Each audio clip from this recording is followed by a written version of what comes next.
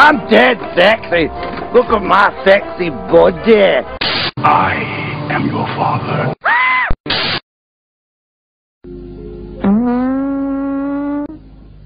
Sorry, I farted.